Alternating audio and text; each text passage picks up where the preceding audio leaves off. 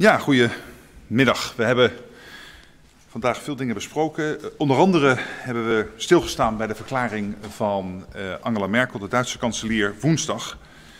Uh, in verband met het laboratoriumonderzoek dat onomstotelijk heeft vastgesteld dat Alexei Navalny is vergiftigd met een verboden chemisch wapen uit de Novichok-groep.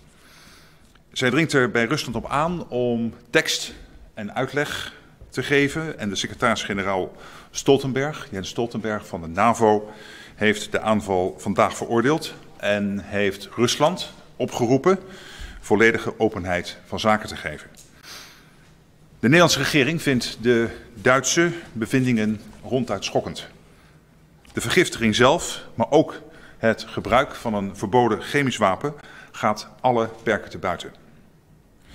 Het is daarom belangrijk om de komende tijd in de Europese Unie, in de NAVO, maar ook in het verband van de OPCW gezamenlijke vervolgstappen te bespreken. Dan hebben we vandaag, zoals iedere week, weer gesproken over het coronavirus. We volgen het aantal besmettingen natuurlijk en de cijfers van ziekenhuisopnames en andere ontwikkelingen op de voet. Dat doen we landelijk en we krijgen ook steeds beter inzicht in wat er regionaal gebeurt en hoe we daarop moeten reageren. Je ziet nu dat over een, enkele, een enkel aantal dagen, enige dagen, een behoorlijke stijging zichtbaar is van het aantal besmettingen. Nogmaals, dat is op basis van een beperkt aantal dagen. Dus je kunt daar nu nog geen grote conclusies aan verbinden. Maar een toename is altijd zorgelijk. En daarom zou ik willen zeggen, deze ontwikkeling is een extra reden om ons allemaal goed aan de afspraken te houden. Ik ben blij met de brede steun die zichtbaar is in de Tweede Kamer voor de wet die het mogelijk maakt om de corona-app in te voeren. Het voorstel gaat nu door naar de Eerste Kamer en als die er ook mee instemt, dan zal deze app zo snel mogelijk landelijk beschikbaar komen. Ik hoop dat zoveel mogelijk mensen in dat geval de app ook gaan gebruiken, zodat we het nut ervan in Nederland ook echt kunnen maximeren. En zoals steeds bij de corona-aanpak geldt, ook hier dat we het echt samen moeten doen. Tot slot wil ik u melden dat we vandaag gesproken hebben over het zogenaamde Nationaal Groeifonds. Zoals u weet is het een fonds voor de langere termijn. Het is gericht op de toekomstige generaties, zodat ook voor onze kinderen en kleinkinderen er welvaart is in Nederland en goede sociale voorzieningen. Daar werken we aan door te zoeken naar investeringen in kennisontwikkeling, in infrastructuur, in onderzoek en in ontwikkeling en innovatie.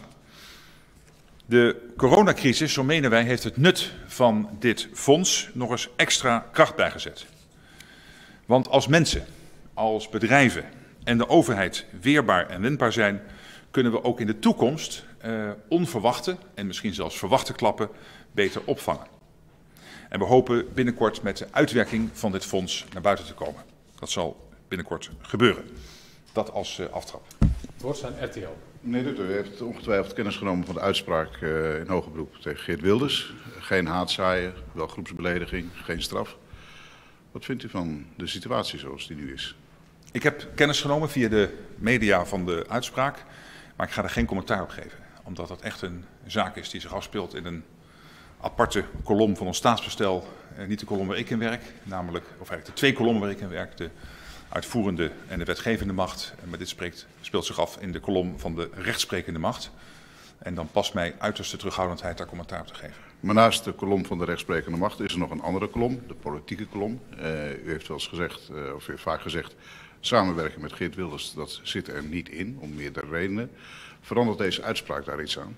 Die kwestie van de samenwerking hebben wij vanuit mijn partij aan de orde gehad bij de vorige verkiezingen. En ik heb er ook een brief over geschreven na die verkiezingen. Dat was een breder palet aan kwesties die daar aan de orde was. En hoe wij daar weer mee omgaan in het licht van de volgende verkiezingen. Mijn partij, uh, dat is aan degene die dan in de partij uh, dat voor het zeggen hebben. Dat klinkt als een opening.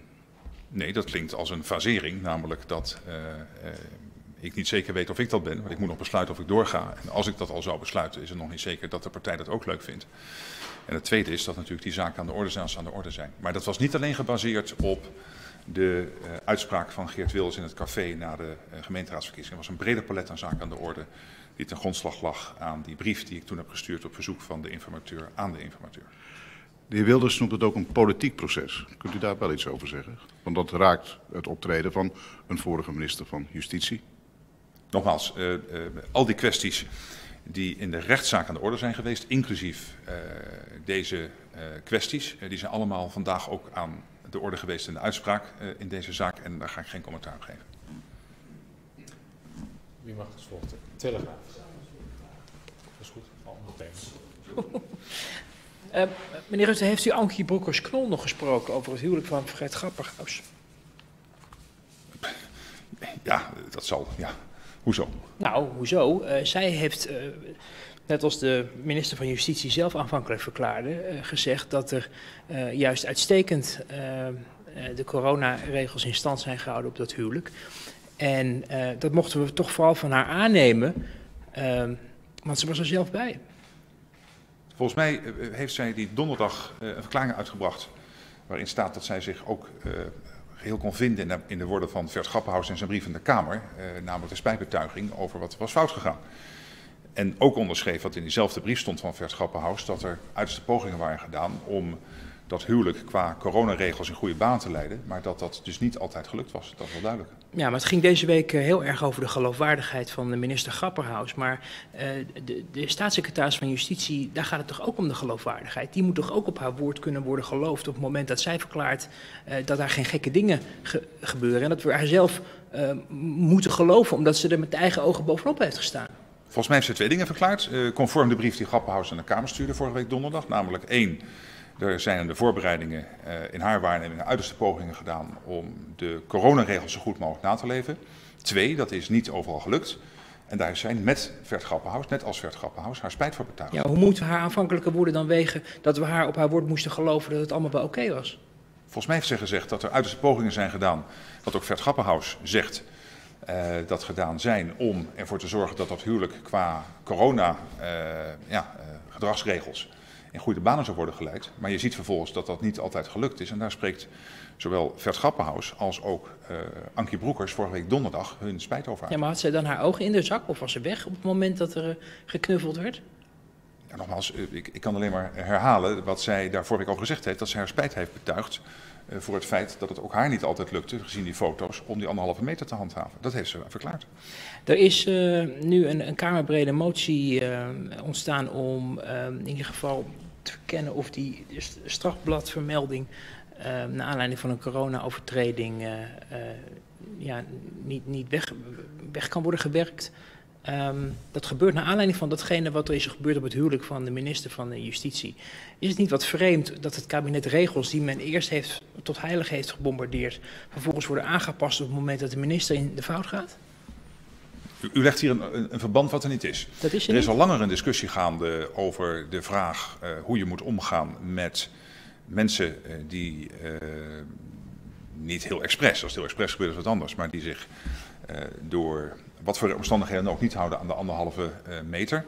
En dan doen zich een paar vragen, deden zich voor een Kamerdebat. Een van de vragen was hoe hoog moet de boete zijn? He, daar heeft Lilian Marijnus iets over gezegd, ook in relatie tot mensen met een kleine beurs, uh, voor wie 380 of 390, 380 euro fors is. Uh, en dat is denk ik ook zo.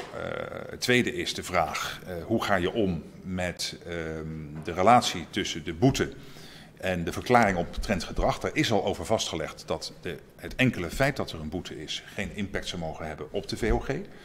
Uh, maar hij kan natuurlijk in een stapeling wel effect hebben. Dus die twee aspecten, daarvan heeft Vert Schappenhaus gezegd, die discussie is al langer gaande, ook in de Kamer, uh, ook uh, met de politie. en dat hij binnenkort daarna erover zal berichten. En inmiddels is er ook een Kamermotie volgens mij aangenomen over die kwestie van de VOG. Maar zegt u nu dat um, die Kamermotie niet zo breed omarmd zou zijn op het moment, of net zo breed omarmd zou zijn op het moment dat er niet over het huwelijk van minister Grapperhaus zoveel commotie was ontstaan?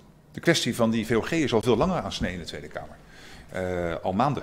Uh, er zijn ook, dacht ik in mei, maar dat zou ik moeten nakijken, vragen over gesteld en opmerkingen over gemaakt. En het leeft volgens mij breed in het parlement al enige tijd.